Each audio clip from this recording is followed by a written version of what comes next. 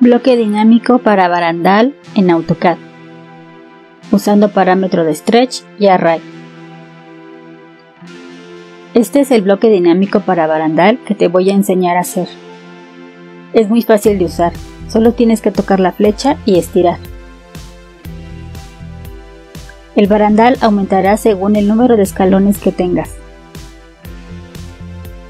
Previamente subí dos bloques dinámicos para escaleras. El primer bloque es para escaleras en planta. Podrás cambiar el ancho de los escalones. También puedes crecer el número de escalones que requieras.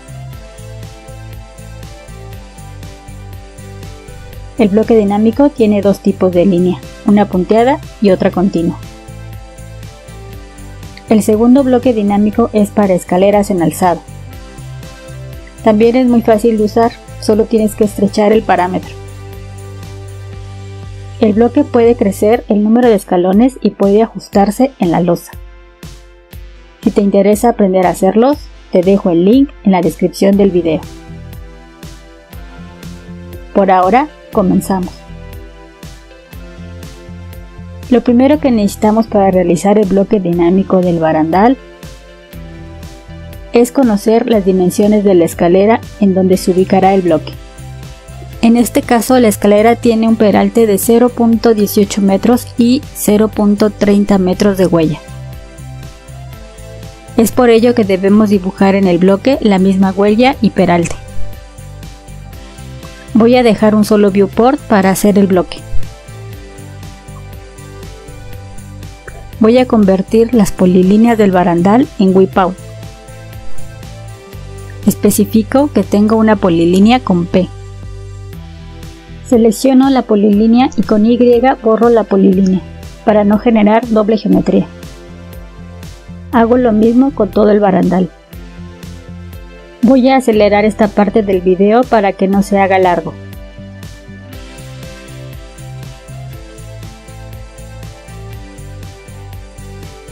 Ayúdame y comparte este video.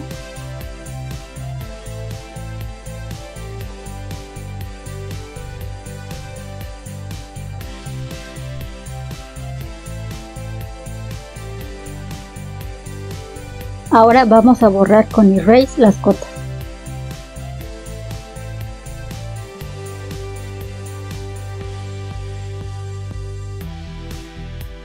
Creamos el bloque con la letra B.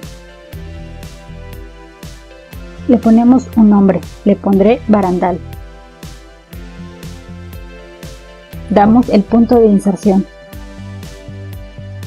Lo ponemos en la esquina del lado izquierdo del escalón seleccionamos los objetos y después damos Enter. Damos OK. Suscríbete, activa la campanita y regálame un like. Para editar el bloque escribimos BE. Seleccionamos barandal y damos OK. Nos vamos a parámetros y seleccionamos linear. Lo colocamos en los dos extremos del escalón en el endpoint. Ubicamos el parámetro, tocamos el parámetro y vamos a las propiedades. Nos vamos al número de grids y seleccionamos 1. Nos vamos a las acciones y seleccionamos Array. Ahora nos pide seleccionar el parámetro. Después seleccionamos los barrotes del barandal. Nos pide dar la distancia. Así que tocamos los dos extremos del escalón con Endpoint.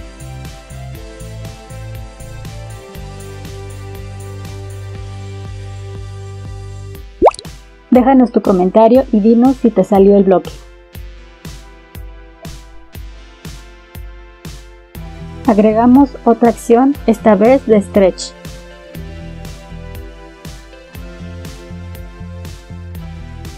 Seleccionamos el parámetro.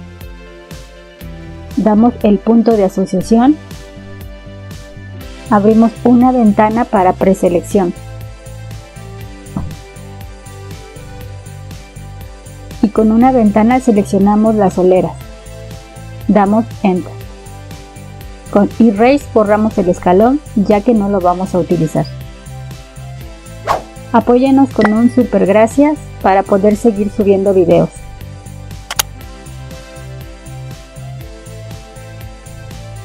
Cerramos el editor y guardamos.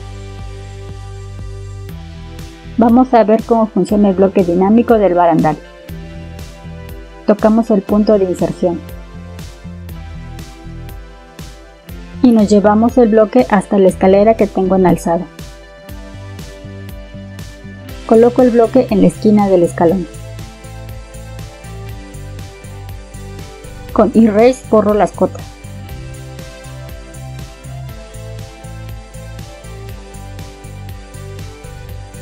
Tocamos la flecha del bloque y estiramos hasta donde sea necesario. Hago una copia para la parte superior de la escalera.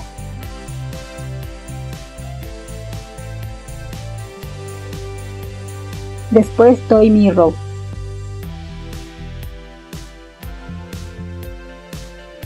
Damos Y para dejar solo el bloque espejeado. Reubicamos el bloque a la esquina del escalón. Estiramos la flecha del parámetro hasta donde se requiera. Te sugiero apagar la opción de ortogonal para poder estirar con facilidad.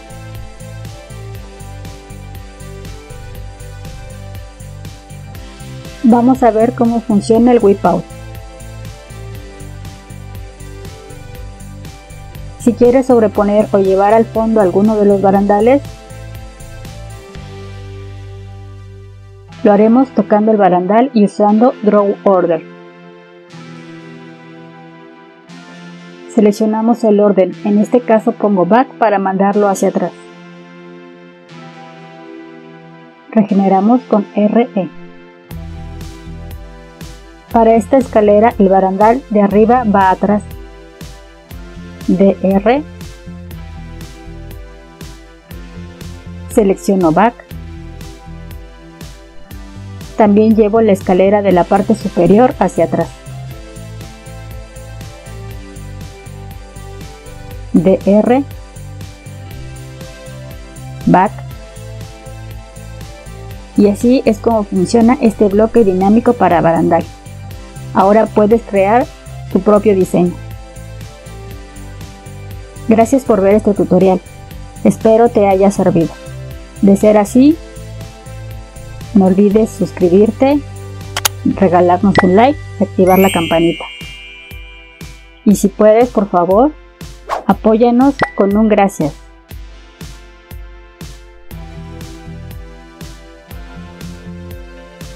Bye.